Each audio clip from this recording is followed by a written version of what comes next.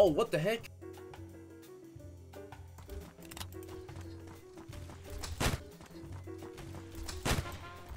Oh, I stabbed that guy.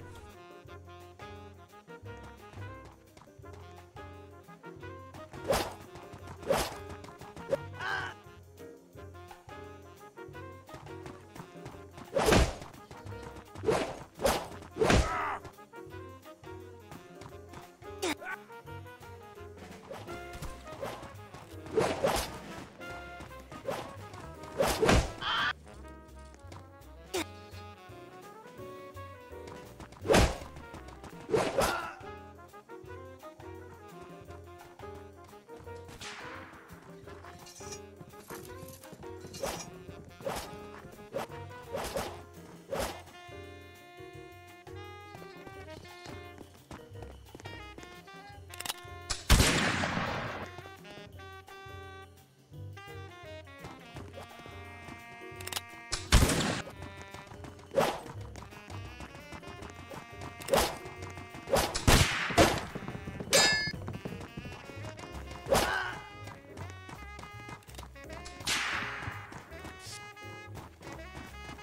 Yeah.